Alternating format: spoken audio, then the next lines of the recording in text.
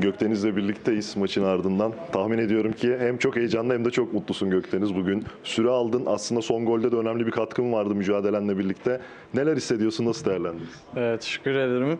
Ee, öncelikle em, çok mutluyum bugün. Çok heyecanlıydım.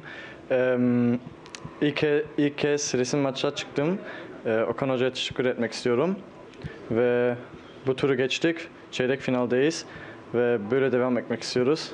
Ve mutluyuz. Çok teşekkür ederim. Biz de bir kez daha tebrik ederim Gökdeniz. Hayırlı olsun diyelim.